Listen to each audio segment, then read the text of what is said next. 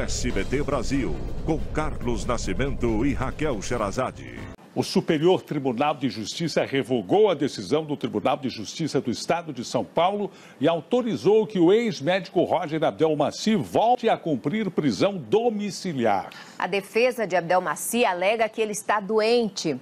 A repórter Fernanda Cesaroni tem mais informações ao vivo. Boa noite, Fernanda.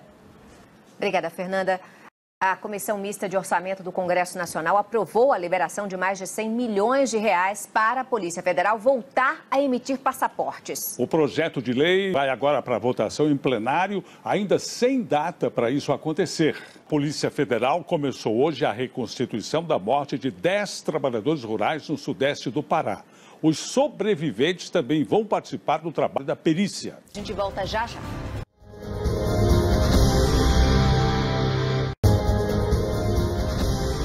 É gravíssimo o estado de saúde do bebê que levou um tiro dentro da barriga da mãe em Duque de Caxias, na Baixada Fluminense. Um dos médicos que participou da cirurgia para retirar o projétil alojado no tórax do recém-nascido conta como foi a batalha para salvar a vida de Arthur.